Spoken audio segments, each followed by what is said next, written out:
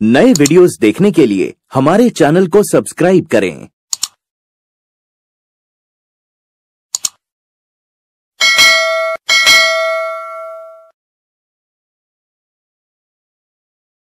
કેમ છો વિદ્યાર્થી મિત્રો મજામાં આજે આપણે ધોરણ આઠ સામાજિક વિજ્ઞાન વિષયની અંદર ચેપ્ટર તેરનો અભ્યાસ કરીશું. ચેપ્ટર તેર છે, માનવ સંસાધન.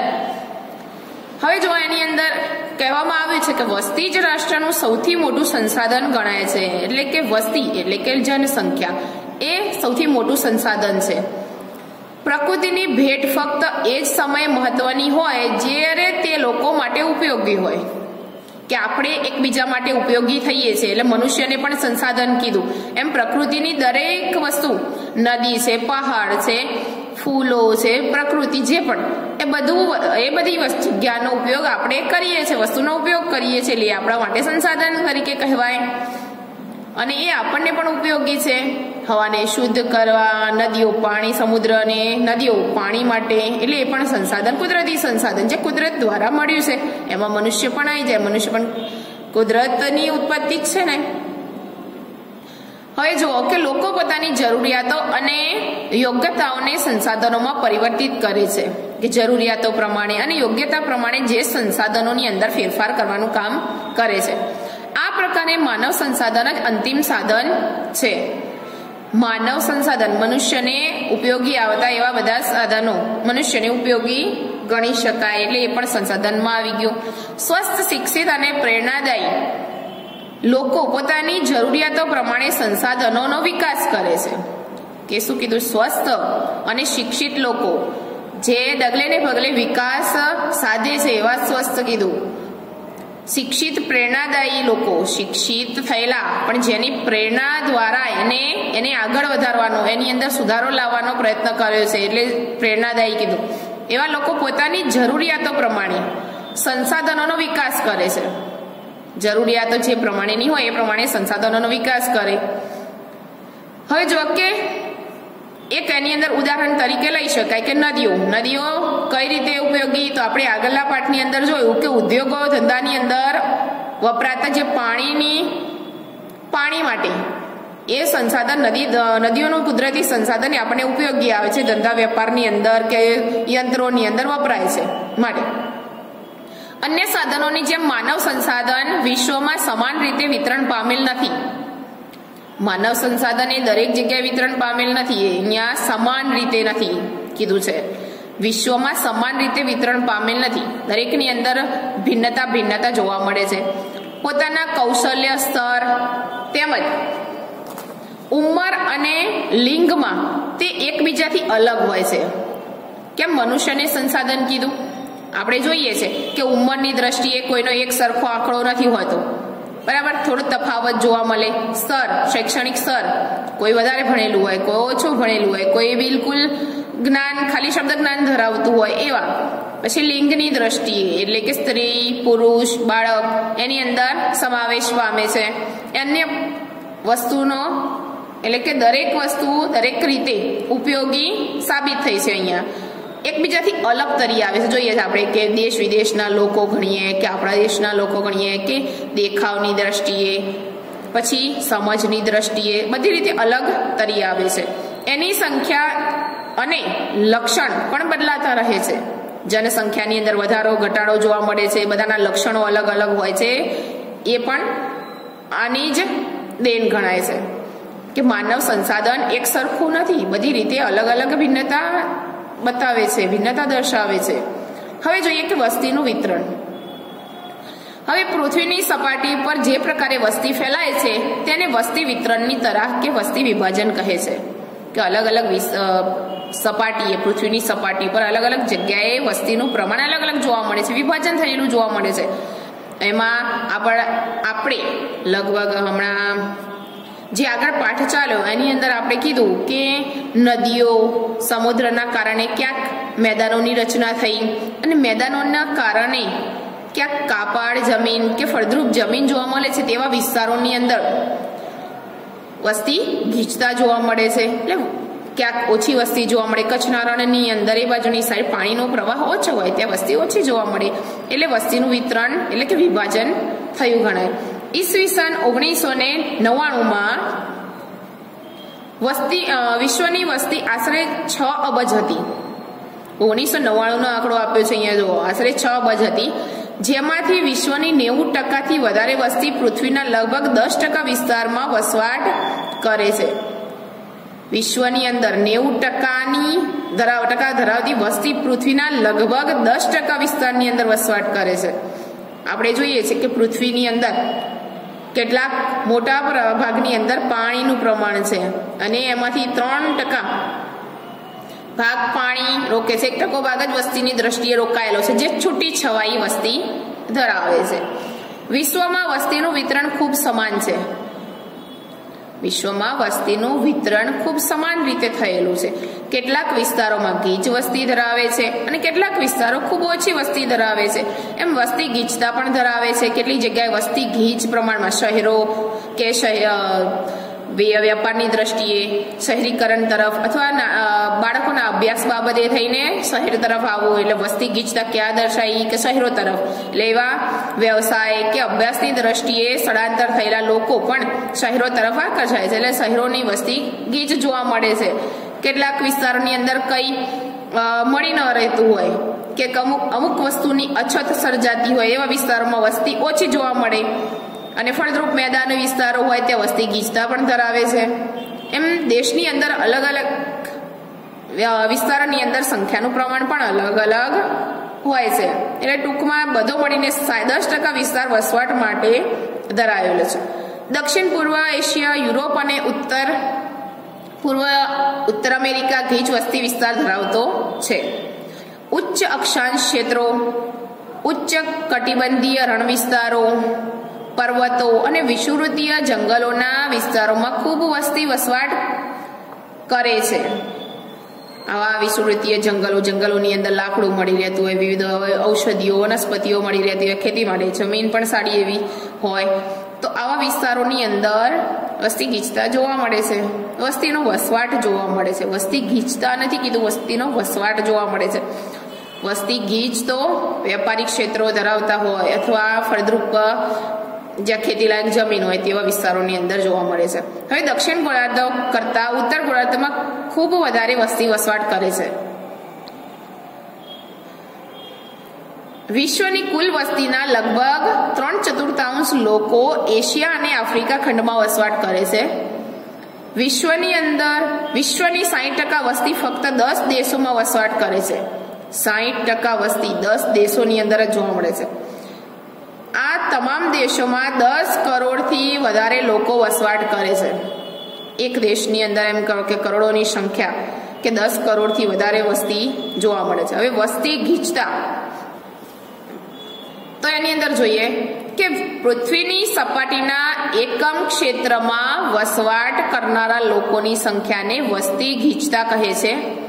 જેને સામાન્ય રીતે દર ચોમા ચોરસ કિલોમીટરમાં રજૂ કરી શકાય છે. દર ચોરસ કિલોમીટરે કેટલી વસ્તીનો આંકડો છે એ ઉપર અંદાજિત વસવાલાયક જમીનના આધારે નક્કી કરી શકાય. વસ્તી ગીચતાને આ સૂત્ર પ્રમાણે પણ દર્શાવી શકાય છે. અહીંયા જો વસ્તી ગીચતા ઉપર આપ્યું છે દેશની કુલ વસ્તી અને દેશની કુલ ક્ષેત્રફળ. એ પ્રમાણે વહેંચીને તમે ભાગી શકો અને આંકડો અંદાજિત આંકડો મેળવી શકો. ભારતની સરેરાશ વસ્તી ગીચતા બે હજાર અગિયારના વર્ષ પ્રમાણે ત્રણસો બ્યાસી છે. બે હજાર અગિયારના વર્ષ પ્રમાણે ત્રણસો બ્યાસી છે વસ્તી ગીચતા જ્યારે ટકાવારીની અંદર દર્શાવેલી હોય. જ્યારે વિશ્વની સરેરાશ વસ્તી ગીચતા ચોપન બે હજાર અગિયારમાં વ્યક્તિની છે. સૌથી વધારે વસ્તી ગીચતા દક્ષિણ મધ્ય એશિયામાં છે. આ સિવાય ક્રમશઃ પૂર્વ એશિયા અને દક્ષિણ પૂર્વ એશિયામાં છે. હવે જો અહીંયા એક કોષ્ટક આપેલો છે જે જાણવું ગમશે, ખાલી એની ઉપર દ્રષ્ટિ દોરાઈએ કે જાણવું ગમશે એમાં જુઓ કે ભારતના વિવિધ રાજ્યોમાં વસ્તી ગીચતા દર ચોરસ કિમીએ બે હજાર અગિયારની આવૃત્તિ આપેલી છે કે ભારતની અંદર વસ્તી ગીચતાનો આંકડો ત્રણસો બ્યાસી, સ્ત્રી પુરુષનું પ્રમાણ નવસો તેતાલીસ અને સાક્ષરતા દર ચુમ્મોતેર પોઈન્ટ ચાર. એમ અલગ અલગ ભારતના રાજ્યો અને કેન્દ્ર શાસિત પ્રદેશો આની અંદર સામેલ કરવામાં આવ્યા છે. જેમાં આ એકથી ત્રણનો સંખ્યા જમ્મુ કાશ્મીર, હિમાચલ પ્રદેશ, પંજાબ, તેમજ ચંદીગઢ, ઉત્તરાખંડ, હરિયાણા બીજા ક્ષેત્રો દિલ્હીના રાજસ્થાન ઉત્તર પ્રદેશ બિહાર સિક્કિમ અરુણાચલ પ્રદેશ નાગાલેન્ડ મણિપુર મિઝોરમ ત્રિપુરા મેઘાલય અસમ પશ્ચિમ બંગાળ ઝારખંડ ઓડિશા છત્તીસગઢ મધ્યપ્રદેશ ગુજરાત અને દીવ અને દમણ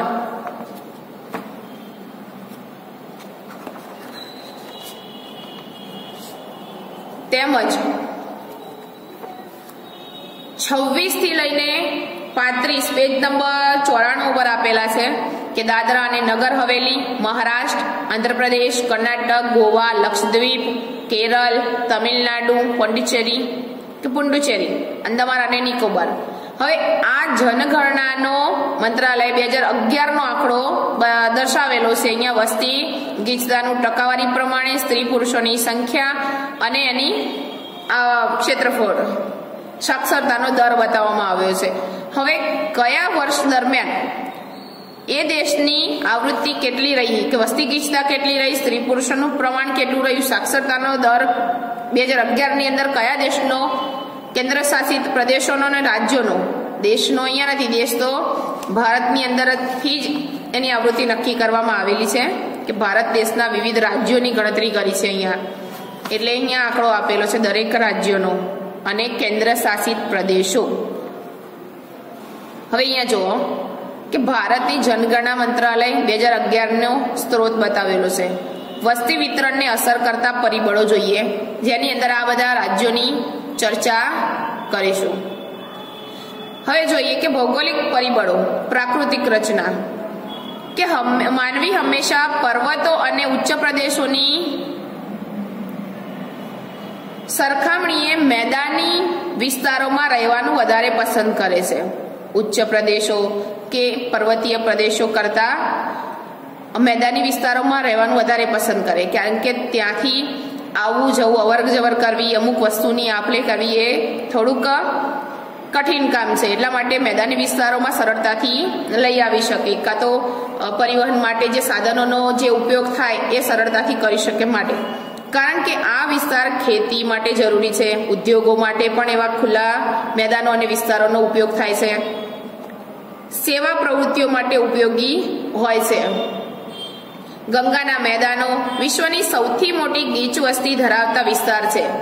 હવે ગંગાના મેદાની પ્રદેશો કેમ? કારણ કે ગંગા નદીને ઘણી એવી નદીઓ માર્ગની અંદર મળે છે, જે કાપાડ એમાંથી ઘણી એવી નદીઓ છે જે કાપાડ મેદાન કાપાડ ધરાવે છે, એટલે કાપ સાથે લઈને આવે છે.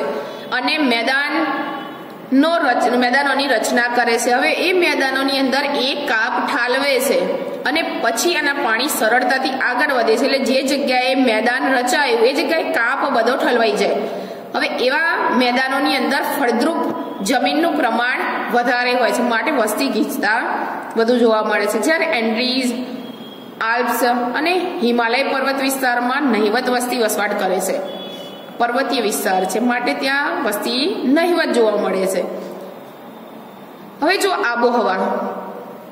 વસ્તી સામાન્ય, વિષમ, તીવ્ર આબોહવા એટલે કે ખૂબ જ ગરમ અથવા ખૂબ જ ઠંડા વિસ્તારોમાં જેમ કે સહરાનું રણ, એશિયાનો ધ્રુવ પ્રદેશ કેનેડા અને એન્ટાર્કટિકામાં વસવાટ કરવાનું પસંદ કરતી નથી. કેમ? કારણ કે આ અહીંયા જણાવવામાં આવ્યું કે વસ્તી આબોહવાની દ્રષ્ટિએ પણ ક્યાંક ગીચતા ધરાવે છે. ક્યાંક અતિશય ગરમ પ્રદેશો કે અતિશય ઠંડા પ્રદેશોમાં રહેવાનું મુશ્કેલ હોય છે. માટે મધ્યમસર વાતાવરણ કે આબોહવા ધરાવતા પ્રદેશોની અંદર વસ્તી ગીચતા જોવા મળે છે. માટે અહીંયા વસ્તી ઓછી છે. હવે રણ પ્રદેશોની અંદર દરેક વસ્તુની લેવા, માલ, સામાન લેવા, જવા માટે બહુ દૂર વિસ્તારોની અંદર જવું પડતું હોય, ક્યારેક ક્યારેક પાણીની અછત ઊભી થાય. તો એવા વિસ્તારોમાં મુશ્કેલી સર્જાય. માટે આવા જ વિસ્તારોથી દૂર વ્યક્તિઓ રહેવાનું પસંદ કરે છે, કારણ કે ખેતી માટે જમીન પણ ન હોય, અતિશય વરસાદ પડે બિલકુલ વરસાદ ન પડે અથવા અતિશય બરફ પડતો હોય એવા વિસ્તારોમાં ખેતી માટે જમીન યોગ્ય રહેતી જ નથી. માટે વસ્તીનું પ્રમાણ ત્યાં ઓછું હોય છે. હવે જમીન. જમીનની બાબતમાં જોઈએ કે ફળદ્રુપ જમીન ખેતી માટે ઉપયોગી હોય છે. ખેતી માટે ઉપયોગી જમીન કેવી હોવી જોઈએ? ફળદ્રુપ હોવી જોઈએ. જેથી કરીને પાકની અંદર નુકસાન ન જાય. ભારતમાં ગંગા અને બ્રહ્મપુત્રા ચીનમાં હવાંગો અને ચાંગ જ્યાંગ તથા ઇજિપ્તમાં નાઇલ નદીના ફળદ્રુપ મેદાન ગીચ વસ્તી ધરાવતા વિસ્તારો છે. હવે આ બધા મેદાનો કેવા છે? ફળદ્રુપતા ફળદ્રુપતાની દ્રષ્ટિએ યોગ્ય છે. કારણ હમણાં જ આગળના પ્રશ્નની અંદર, અહીંયા પોઈન્ટની અંદર ચર્ચા કરી કે કેટલીક નદીઓ પોતાના પ્રવાહ સાથે કાંપને પણ લઈને આવે છે, જે ફળદ્રુપ મેદાનો રચે છે. અને જળનો જથ્થો બી વધારે હોય છે. માટે એવા મેદાનોની રચના થાય છે. આજુબાજુ ક્યાંક જંગલોનો વિસ્તાર પ્રમાણ વધારે જોવા મળે છે ખેતીલાયક જમીન પણ વધારે જોવા મળે છે. હવે જોઈએ જળ. વસ્તી આવા ક્ષેત્રમાં વસવાટ કરવા પ્રાથમિકતા આપે છે. કે જ્યાં પાણી મળી રહે. પાણીનો પ્રવાહ બરાબર હોય કે પીવાલાયક પાણી મળી રહેતું હોય, સિંચાઈ માટે પાણી મળી રહેતું હોય, તો એવા વિસ્તારોમાં, ક્ષેત્રોમાં રહેવાનું વધારે પસંદ કરતી હોય છે. જ્યાં બિન ક્ષારીય જળ સરળતાથી ઉપલબ્ધ થાય છે. બિન ક્ષારીય જેની અંદર ક્ષારનું પ્રમાણ, મીઠાનું પ્રમાણ ઓછું હોય અથવા નહિવત હોય એવા વિસ્તારો એમને પસંદ આવે છે. કારણ કે આપણે જોઈએ કે પાક પકવવા માટે સમુદ્રનું પાણી નાખવામાં આવે તો પાક ઉગે નથી ઉગતો. કારણ કે ખારાશવાળું હોય છે, ક્ષારતા વધારે હોય છે, એટલા માટે પાકને નુકસાન થઈ જાય. એટલે એ માટે ક્ષાર બિન ક્ષારીય જળ જરૂરી છે, જે નદીઓમાંથી મળે છે આપણને.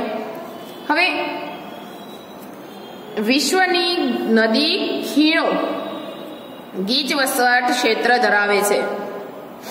વિશ્વની નદીઓ ક્યાંક ખીણો ગીચ વસવાટ ક્ષેત્રો ધરાવે છે. જ્યાં વરણ વિસ્તારો ખૂબ ઓછી વસ્તી ધરાવે છે. હવે આવા નદીઓવાળા જે વિસ્તારો જે છે, ત્યાં ગીચતા જોવા મળે છે. જ્યારે રણ પ્રદેશોની અંદર વસ્તી ગીચતા ઓછી હોય છે.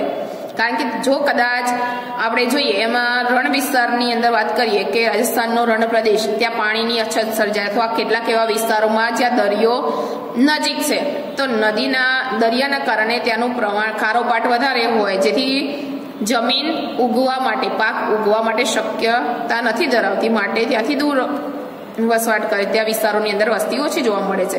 ત્યારબાદ આવે ખનિજ. હવે જો ખનિજ સંસાધન વાળા વિસ્તારો વધુ વસ્તી ધરાવે છે. જે વિસ્તારની અંદર ખનિજ પ્રાપ્ત થતા હોય, એવા વિસ્તારોમાં પણ વધુ વસ્તી ધરા- ધરાવતા પ્રદેશો ગણાય. દક્ષિણ આફ્રિકાની હીરાની ખાણો અને મધ્ય પૂર્વ એશિયા ખનિજ તેલોના ક્ષેત્રો લોકોને વસવાટ માટે પ્રેરિત કરે છે.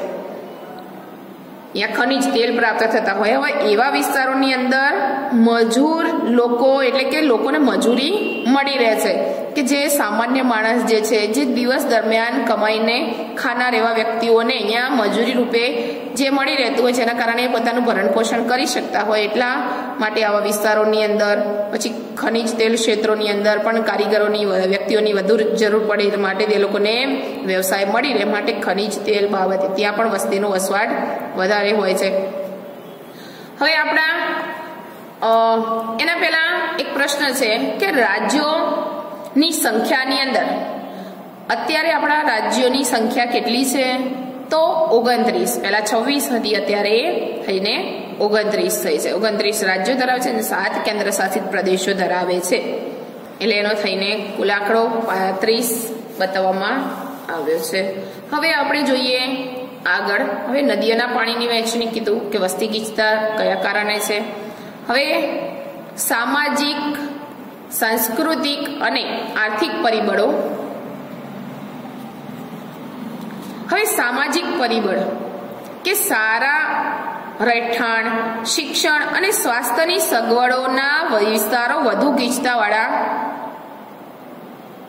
છે. દાખલા તરીકે પુણે.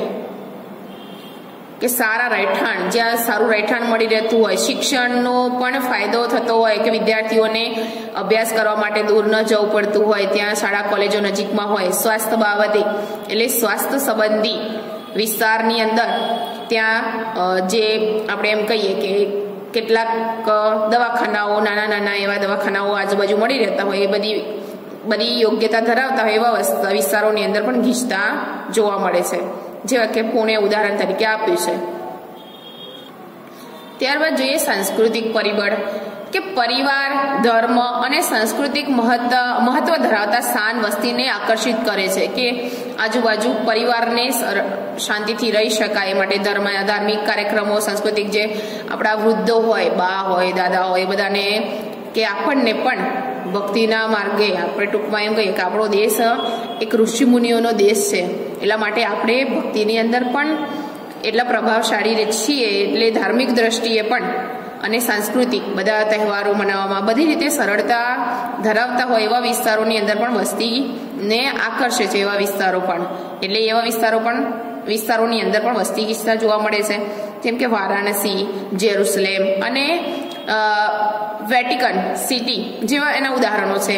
આર્થિક પરિબળ, ઔદ્યોગિક વિસ્તાર રોજગારીની તક ઊભી કરે છે. ઔદ્યોગિક વિસ્તારની અંદર જે ઉદ્યોગોનું પ્રમાણ હોય તે રોજગારીની તકો પૂરી પાડે છે. તે એવા વિસ્તારોની અંદર જે લોકોને રોજીરોટી મળી રહે, એવા વિસ્તારોની અંદર પણ વસ્તી ગીચતા જોવા મળે છે કે વસ્તી મોટા પાયે જોવા મળે છે.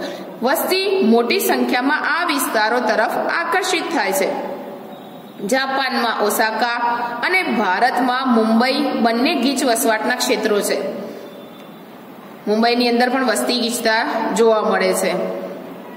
હવે જુઓ વસ્તીનું સ્થાનિક વિતરણ. ભારતની વસ્તીનું વિતરણ અસમાન છે.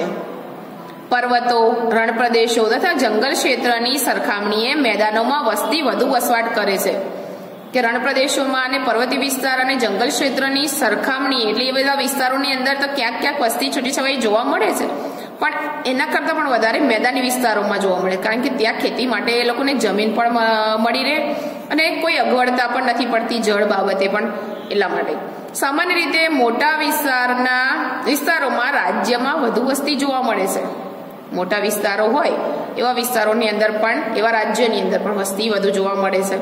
પરંતુ આ નિયમ ત્યારે જ લાગુ પડે જ્યારે તેના પ્રાકૃતિક સંસાધનોનો આધાર વિશેષતઃ જમીન સમતળ હોય. જમીન સમતળ એટલે કે સીધી જોવા મળતી હોય ઉબડખાબડ કે પહાડી ક્ષેત્રો કે પથરાળ ન જોવા મળતી હોય તો આ જમીન સમતલ હોય એવા વિસ્તારની અંદર વસ્તી ઈચ્છતા પ્રાપ્ત થાય છે. આથી નદી તથા કિનારાના મેદાનોમાં આવેલ રાજ્યો તથા જિલ્લા અને શહેરી વિસ્તારોમાં પણ વસ્તી જોવા મળે છે. જો ભારતમાં રાજ્યવાર વસ્તીના વિતરણ પર નજર કરીએ, તો અનેક વિષમતાઓ જોવા મળે છે કે અલગ અલગ રાજ્યોની અંદર અલગ અલગ વિષમતા એટલે કે વાતાવરણની અંદર પણ ફેરફાર જોવા મળે છે. હવે અને ક્યાંક ક્યાંક ઉદ્યોગ ધંધાઓનું પ્રમાણ વધારે હોય એવા વિસ્તારોની અંદર પણ વસ્તી ગીચતા હોય. એવું ખાસ કરીને એટલા માટે છે કે રાજ્યના ક્ષેત્રોમાં તથા તેના સંસાધન આધારમાં પણ અનેક વિવિધતા જોવા મળે છે. અલગ અલગ પ્રમાણે ઉદ્યોગો પસંદ કરી શકે છે અને એમાં વ્યવસાય કરી શકે છે. જેમ કે હિમાલયથી લઘુ રાજ્ય સિક્કિમની વસ્તી માત્ર છ પોઈન્ટ દસ લાખ છે.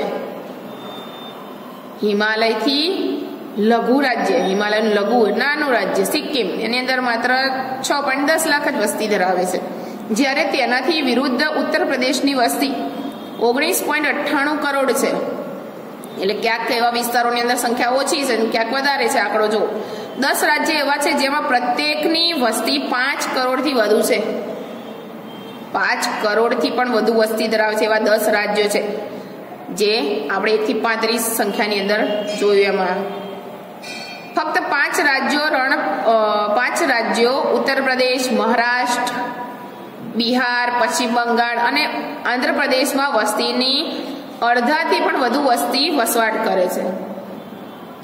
અડધાથી વધુ વસ્તી વસવાટ કરે છે. એનો એવો અર્થ નથી કે વિશાળ ક્ષેત્રફળવાળા રાજ્યની વસ્તી પણ વિશાળ જ હોય.